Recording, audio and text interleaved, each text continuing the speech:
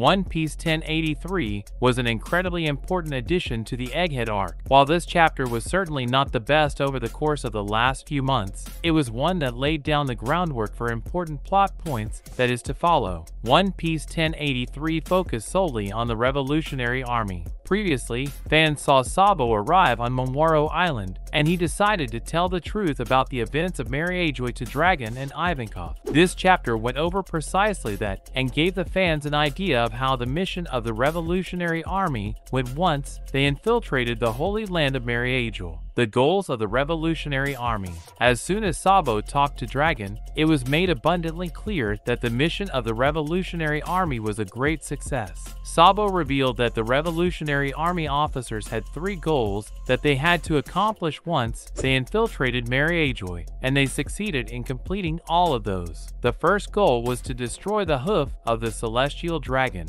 This symbol can be considered to be the greatest power symbol that the Celestial Dragons have. After Sabo infiltrated the Holy Land, he destroyed it completely and, with the Revolutionary Army commanders, he also burned down the flag of the Celestial Dragons. This marks the completion of the first goal that the Revolutionary Army commanders had. The second mission that they had to accomplish was to free the slaves on Mary Geoise and, thanks to the sheer power of the commanders under Sabo, this mission was not too difficult. They did what did Fisher Tiger in the olden days and managed to free quite a lot of slaves slaves. The slaves were then evacuated from Mary Geoise, and this marked another great victory for them. The slave, Bartholomew Kuma, in particular, was one that the world government wanted to keep as their dog since he was a former pirate and a king and he was made an example out of. Sabo personally undertook the mission of freeing Bartholomew Kuma, and this was an extremely important part of the mission. Fans have not seen Kuma being freed yet, however, it will surely follow in the next chapter. Since fans already know that Kuma was free, it can be considered that their mission of freeing the slaves was a great success. Finally,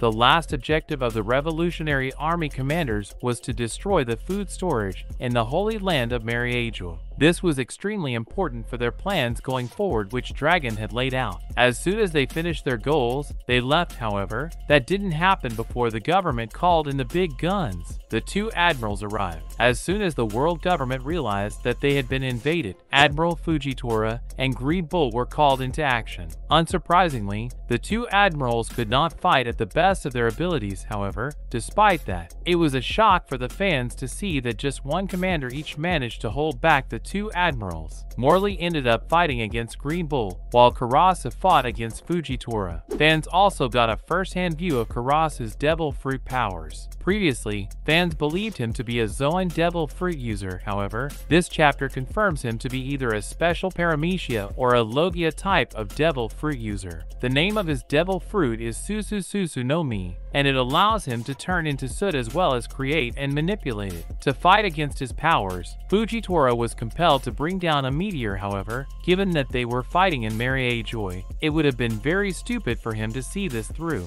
Nonetheless, the two admirals were held off successfully as the slaves were freed and, as fans know already, Kuma was rescued as well. While Morley and Karasu fought against the admirals, Lindbergh, the Southern Army commander, managed to free quite a lot of the slaves held captive in the Holy Land. The vast majority of the chapter covered this portion of the flashback, however. The chapter ended with Cobra going to attend a meeting with the five elders. Unfortunately, fans did not get to see what exactly happened to him, however. The next chapter will likely answer that question for everyone, as has been made clear already, Cobra's death was pinned on Sabo. It isn't clear how exactly he was framed, however. One Piece 1084 will likely give fans an insight into that. And in other news, One Piece, Karasu's Susu Susu no Mi explained, Karasu is one of the most important characters in One Piece when it comes to the Revolutionary Army. Introduced to the fans as the commander of the northern forces of the Revolutionary Army, Karasu is a man worth 400 million berries, which is the second highest highest bounty among the Revolutionary Army commanders. He is known to be an extremely dangerous person,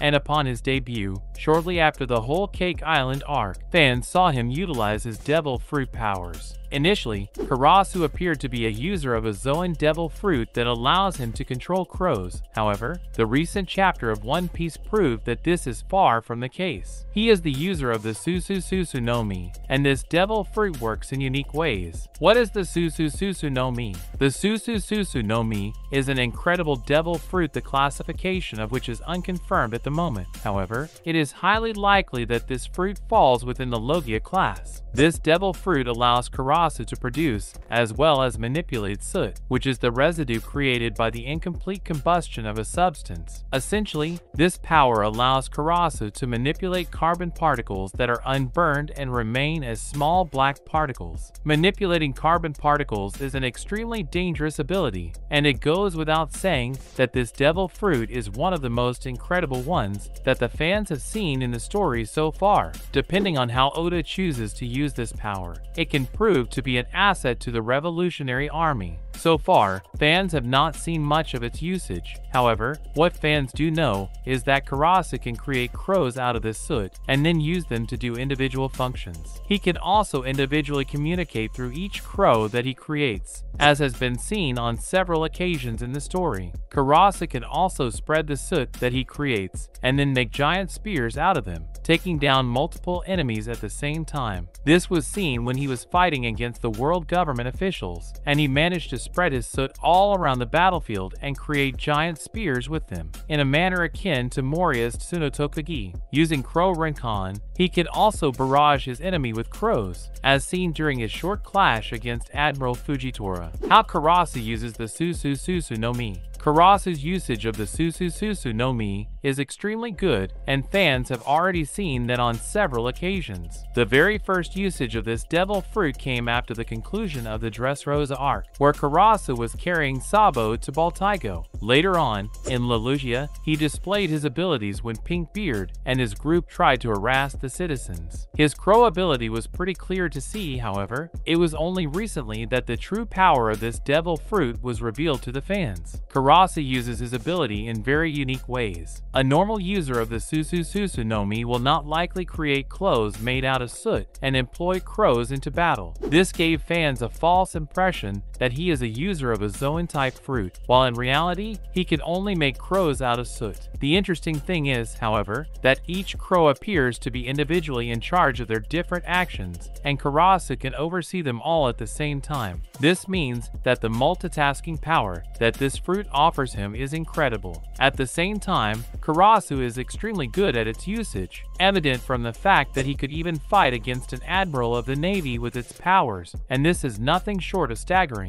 Is the Susu Susu Nomi a Logia? The biggest question that the fans have right now is whether Karasu's devil fruit, the Susu Susu Nomi is a Logia or a Paramecia. Judging from the fact that he was shot countless times by the world government officials, and every bullet seems to pass through him, he isn't a Paramecia. At the very least, he isn't a regular Paramecia, and that is for sure. More likely than not, Karasu is a Logia type of devil fruit user. The interesting thing is, however, Logia type of devil fruits only grant powers that exist in nature in natural forms, and soot appears to be a byproduct instead of appearing in nature in the purest form. This means that the Susu Susu no Mi also has a chance to be different from a Logia. After all, it could perhaps fit into the same category as the devil fruit of Charlotte Katakuri, which is a special paramecia. Special paramecia devil fruits are Logia in all but name. They act just like Logia and allow the user to turn their bodies into a given substance, as well as produce and manipulate it. The user can then move around within their bodies to make it appear as if they are intangible, and even with Haki, they cannot be hurt unless their real body is hit. Paired with future sight, the special paramecia type becomes incredibly dangerous. That said, the fruit is almost certainly a Logia if Oda considers soot to just be naturally occurring carbon particles that exist in nature. Either way, Karasu's devil fruit is extremely overpowered. That's a wrap for this video. Don't forget to like this video and subscribe to our channel. We'll be back with more amazing videos very soon.